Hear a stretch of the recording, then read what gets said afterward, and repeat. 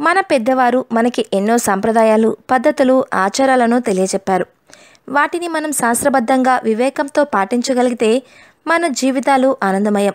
అంతేకాదండి అన్ని పద్ధతి ప్రకారం చేస్తే ఆ ఇంట లక్ష్మీదేవి తాండవిస్తుంది.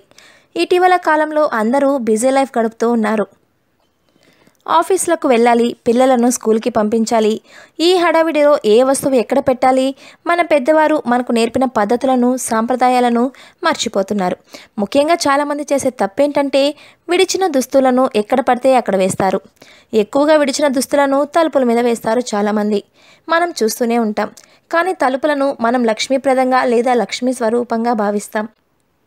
మరి అలాంటప్పుడు విడిచిన దుస్తులను తలుపుల మీద వేయడం ఎంతవరకు సరైన పద్ధతో మీరే గమనించండి. లక్ష్మీప్రదమైన తలుపుల మీద విడిచిన దుస్తులను వేయకూడదు. అది మహాపాపం దోషం కూడా.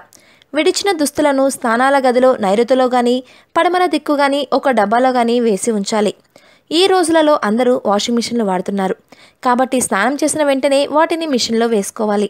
చాలామంది ఒకసారి వేసుకున్న దుస్తులను మళ్ళీ రెండోసారి ఆఫీస్కో స్కూల్కో లేదా ఏ ఇతర కారణాల చేతనో రెండు మూడు సార్లు వేసుకోవడం జరుగుతుంది. అలా వేసుకుంటే మంచిది కాదు. ఒకసారి ఒంటి మీద తీసిన దుస్తులను మళ్ళీ వేసుకోకూడదు. అలా వేసుకుంటే దరిద్రం పడుతుంది. కొందరికి ఆఫీస్కో లేదా స్కూల్కు వెళ్ళాలి.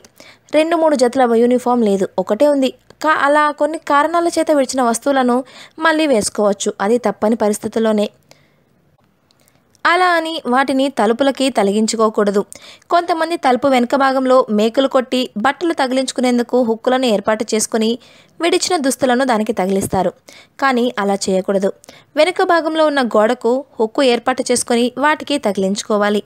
పెద్ద పెద్ద గదులు ఉన్నవారికి ఏ సమస్య ఉండదు. కానీ చిన్న చిన్న గదులు ఉన్నవారు ఈ విధంగా విడిచిన వస్తువులను పెడితే లక్ష్మీదేవి మీ ఇంటి నుండి వెళ్ళకుండా శాశ్వతంగా మీ ఇంట్లోనే ఉంటుంది.